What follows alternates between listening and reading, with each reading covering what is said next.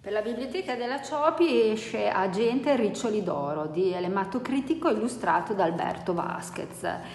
Riccioli d'Oro, la protagonista della celeberrima fiaba dei tre orsetti, diventa in questo caso un agente speciale in grado di risolvere tutti i piccoli grandi problemi che nascono nella vita quotidiana del Bosco delle Fiabe.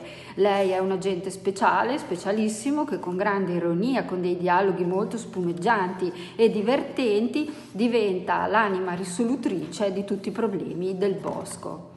Per la Biblioteca della Ciopi, agente Riccioli d'Oro di Elemato Critico con le illustrazioni di Alberto Vasquez.